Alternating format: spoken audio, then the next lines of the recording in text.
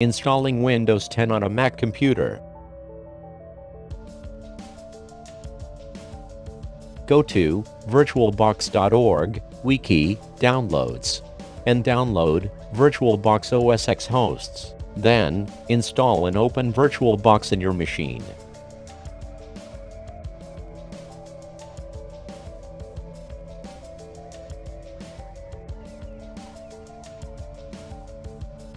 Next, download Windows 10.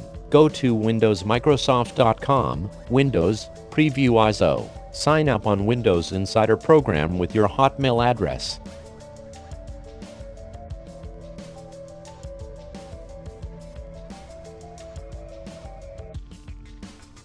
Accept the program agreement, select any area your interest, and continue. Now select PC. Scroll down and get the preview Windows 10.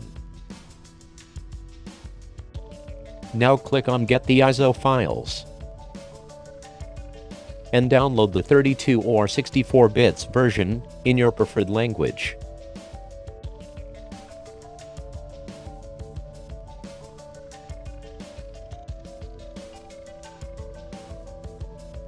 Now with the setup, on VirtualBox, click to create a new virtual machine.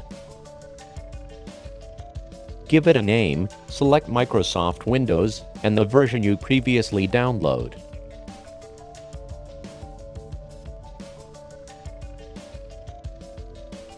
The amount of memory, 2048 will be enough.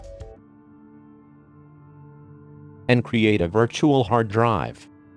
Now on file location, locate the ISO file.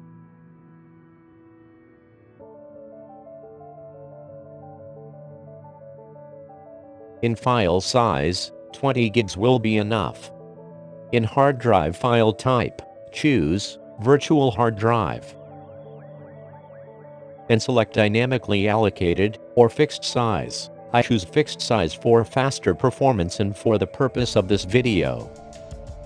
And click to Create. Now be sure to have the ISO file selected. If not, you always can go to System Settings, Storage, and locate the ISO file. On Storage Tree, select the host drive, and then locate the virtual disk, the ISO file.